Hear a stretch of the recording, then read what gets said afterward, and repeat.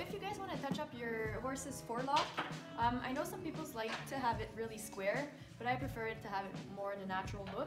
I just find that sometimes the ends will get a little, a little scruffy, and to clean those off, this is how you should do it. So you take your comb and brush it from the side, and now you're just gonna pretend you're a very good hairstylist, just like they do it. And then you'll pull it all the way up, and just drop the scruffy ends.